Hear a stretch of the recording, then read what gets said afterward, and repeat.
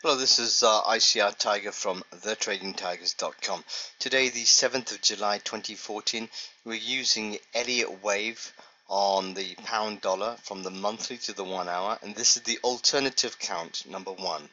Um, before we start, please go through the disclaimer, stop it, read at your own leisure, as well as the hypothetical performance.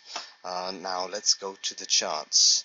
Uh, when I say alternative counts, I think you remember that we were talking yesterday about the other previous count. I can just actually show to you um, where the count was going downwards. We were count, uh, we were looking at it as a wave two at the high here um, to go down. That's the primary. Uh, sorry, that's the um,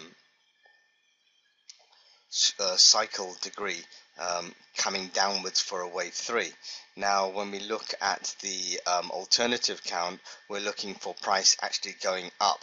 So we've actually started this wave count way down here on January 2009 we're in an ABC correction off a primary that's primary that's red and in circles so 0 A B C within there of course we've got the five wave structures of the um, intermediate that's green in brackets. So wave 1 completed wave 2 and we're in the wave 3 right now. Now let's break it down into the daily chart. We um, probably need to go back to the monthly chart uh, sorry uh, weekly chart. So when we said uh, intermediate uh, green in brackets then we can actually see the breaking down. We got the minor that's pink there's one there's two and there's three. We now go to the daily chart um, knowing that we're in a wave 3 of a uh, minor wave and there are the one, two, three waves. That's the third wave.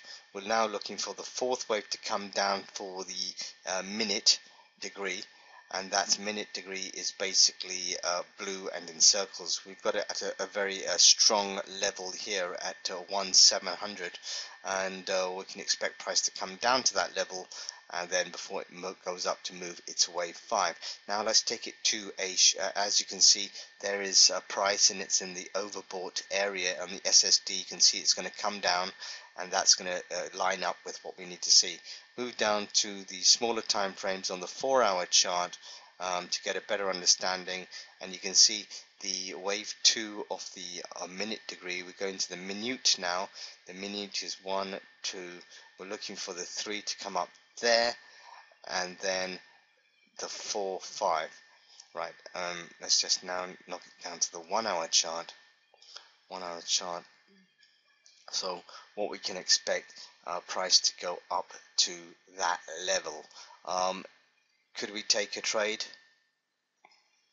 Right now I think things have passed um, beyond our expectations for price to come um, to to take a trade. If I were going to take a trade I would take it at 1.7183 that's where I would look to take a trade.